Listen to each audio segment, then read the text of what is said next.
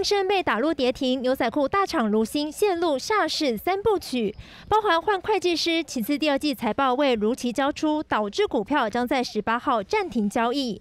更有知情人士透露，如新十大股东之一的伟豪投资，因为抵押成数不足，补不齐，惨遭金城银行断头超过两万张持股。金城银行也首度证实此项消息。一个呃停损断头而已，成数。保证金不够，合约不对，就一月我们就把股票卖掉，就这样而已。至少我完全没有得到任何通报，说有这个损失。如新十八号停止交易，若是六个月内无法交出财报，股票恐怕就将成为壁纸。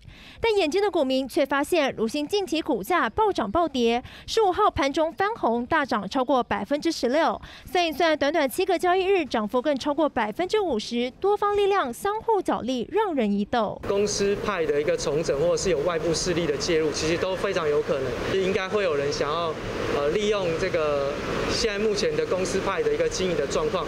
那甚至有机会能够去入主到如新的这样子的一个公司，然后去取得经营权。尽管如新强调公司营运一切正常，将在九月底召开临时股东会，全面改选董事会，但一连串峰回路转，戏剧化剧情堪比八点档，未来是否能起死回生，难以预料。三立新闻林书水刘凤慈台北报道。